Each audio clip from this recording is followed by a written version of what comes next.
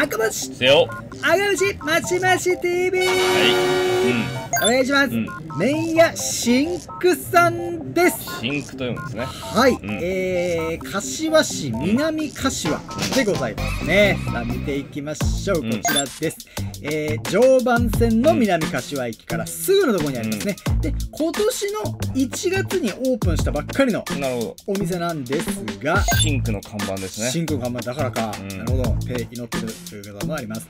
あの、蒲田のうん。高野目さんのマスターがオープンさせたということで、ほ僕は行ったことあるんで、う。うん。会ったことあったのかあなー。っていう感じですね。はい。でもいつもそそくさと帰ってしまうんで。まあまあまあ、はい。ラーメンってそういうもんだから。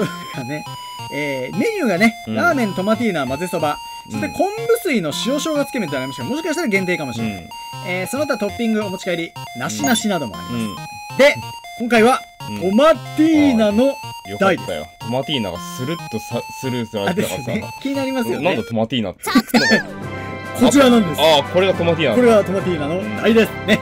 野菜、ニンニク、油、えー、唐揚げ、えー、などなど出しておりますが、なんとですね、バジルがあるんですね。トマトだからトマトなんです。うんこれはマシマシ TV 初体験ですね。バジルなんて普段でもあまりうん取らないから、うんどんなものだっけなって確認しながら食べます。なるほどはい。で、辛い揚げ玉があるというのはやはり、うん高野目さんの名残うんだし、んちょっとこの辛さとトマトが絶対合いますよ。うんはい。えー、さらにですね、カウンターのここがですね、すげえ高いんですね。あそんなに高いの？1メートルあるんで、そんなに？ええうん。あの着弾の時は立ってうん。上からこうあ取って着弾なるほどね。自分で取りましょうということです。ね気をつけてくだうん。さい、はいいただきます、さあ豚から入っていきますがデカ豚ですね。まあこれあの種類的にはねうん。あのーギュチのトマト豚になってるわけですね。はいでこれ腕肉ですね、うん。腕肉、まあ、程よく脂がついてるえーギュチというのが感じがいいですね、で赤身の部分も多いですよということですね、ええ。で端豚がうん。入ってるんですね、う端っこはん。染み込みが強いんで返しの、うん。ラッキー端豚でしたね。あなるほど。あんまり入ってないこともあるんで、うん。あそしてバジルをあつけて。バジル豚。バジル豚いきます。ちょっとバジルにね塩気があって、うん。塩バジルな感じで美味しかったですよ。つけて食べるとねそれがあのあれを練り物を食ってました練り物をはいシュッと食っちゃいましたが、えー野菜油ですね。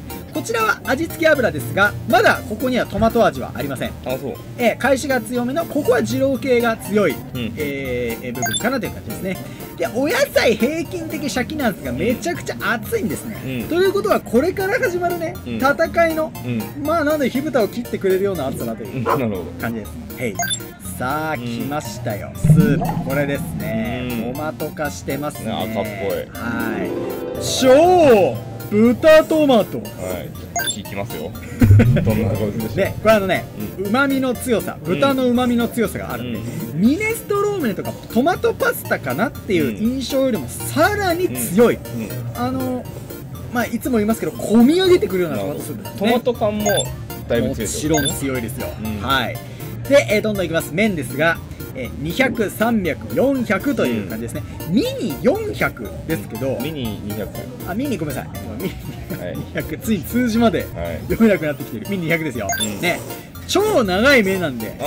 そう。ずーっとすごいすすりがいがあって、うん。美味しいです、うん。とっても美味しいです。ねでトマトラーメンといえばうん。太陽のトマト麺さん、うん。有名ですが、あちらのお店よりすごく麺が太くてですね、あのパスタ的な印象じゃない、うん。もうこれは超独創的なラーメンだぜというのがうん。印象でしたね、うん。おっとっとあちちちって言いながら食ってますがトマト特有のですね、うん。まあ、やっぱりほのかな酸味、うん。甘み、えー麺が密度があるんで、まあ、ギュギュッとしたトマトが食べられます。美味しいですはい。で、うん。ここまででバジルがうん。いい感じで混ざり合ってるんですね、うん。だからトマト好きにはもうマジでたまらない麺でしょうね、うん。なかなか珍しいですね。はい、はい、あと後ろ 知ってる方が通りましたが。あそうだっええあの方です。え？はい。赤崎さんです。たえ？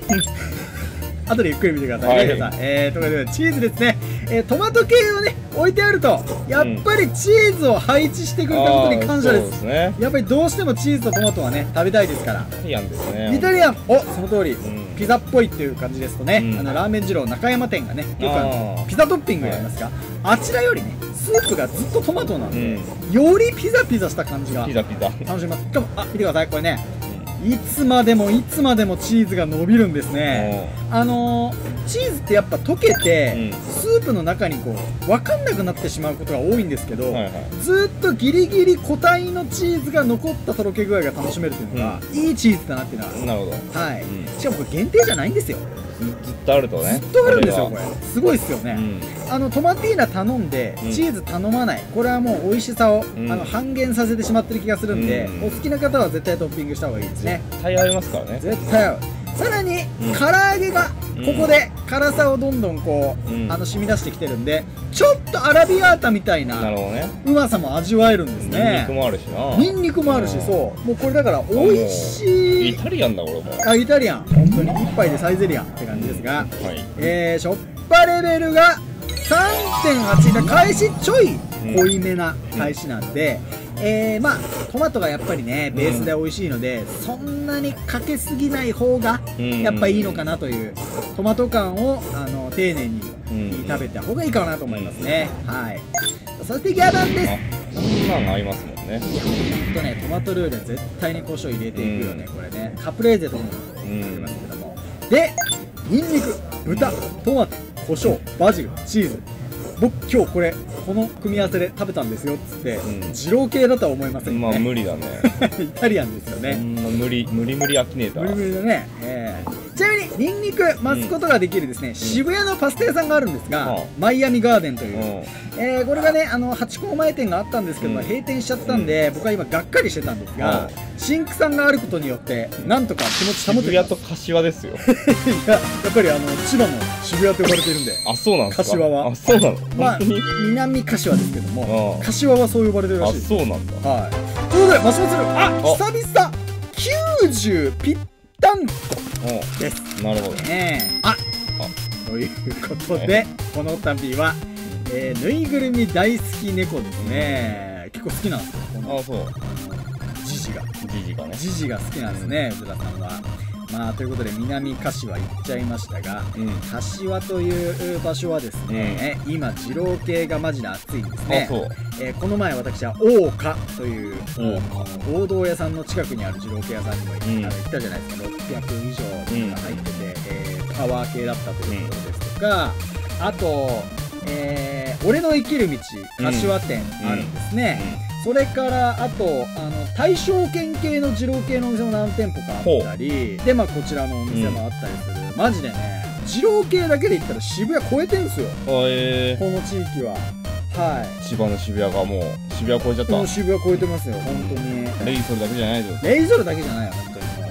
ええあ、ということで、最後はメンマがお目見えはいでしたね。メイヤー、はい、シンクさんですね、えっ、ー、と蒲田の、うん、ね鷹の目さん出身ということで、うん、なんとですね、その次に、鷹の目さんが、という噂です、え。ー、次回もお楽しみに。ごちそうさま。ああ。